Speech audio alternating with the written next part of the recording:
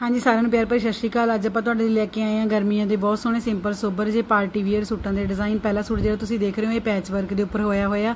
ਇਹਦੇ ਬਾਹਾਂ ਤੇ ਸਲਵਾਰ ਦੇ ਉੱਪਰ ਪੈਚ ਵਰਕ ਹੈ ਤੇ ਘੇਰੇ ਦੇ ਉੱਪਰ ਸਿੰਪਲ ਵੇਲ ਬਣੀ ਹੋਈ ਹੈ। ਟਾਈ ਐਂਡ ਡਾਈ ਦਾ ਚਨੌਨ ਦਾ, ਇਹਦੇ ਨਾਲ ਦੁਪੱਟਾ ਤੁਸੀਂ ਇਹਨੂੰ ਆਪਣੇ ਚੋਇਸ ਦੇ ਕਿਸੇ ਵੀ ਕਲਰ ਤੇ ਰੈਡੀ ਕਰਵਾ ਸਕਦੇ ਹੋ।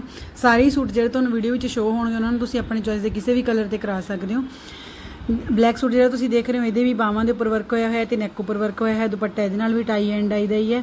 ਇਹ ਆਪਣਾ ਮਸਲੀਨ ਤੇ ਰੈਡੀ ਹੋਇਆ ਹੋਇਆ ਹੈ, ਜਿਹੜਾ ਤੀਸਰਾ ਸੂਟ ਦੇਖ ਰਹੇ ਹੋ ਬਲੈਕ ਕਲਰ ਦੇ ਵਿੱਚ, ਇਹਦੇ ਨਾਲ ਦੁਪੱਟਾ ਔਰਗੈਂਜਾ ਦਾ ਹੈ ਤੇ ਮਸ਼ੀਨ ਵਰਕ ਦੇ ਸਾਰੇ ਸੂਟ ਨੇ ਜੀ। ਤੁਸੀਂ ਇਹਨਾਂ ਨੂੰ ਆਪਣੀ ਚੁਆਇਸ ਦੇ ਕਿਸੇ ਵੀ ਕਲਰ ਦੇ ਉੱਪਰ, ਕਿਸੇ ਵੀ ਸਟੱਫ ਦੇ ਉੱਪਰ ਕਰਵਾ ਸਕਦੇ ਹੋ ਤੇ ਘਰ ਬੈਠੇ ਆਨਲਾਈਨ ਤੁਸੀਂ ਇਹਨੂੰ ਆਰਡਰ ਕਰ ਸਕਦੇ ਹੋ।